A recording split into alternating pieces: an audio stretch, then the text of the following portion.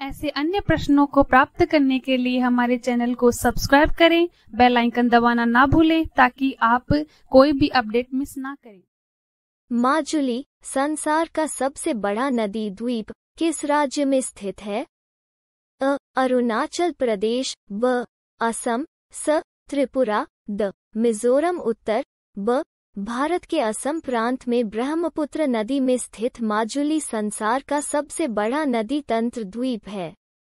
अपर्दन की समस्या से ग्रस्त यह द्वीप एक नौ एक चार दो शून्य शून्य आठ चौरानवे वर्षों के मध्य तक लगभग दो सौ सत्ताईस दशमलव चार तीन वर्ग किमी क्षेत्र खो चुका है।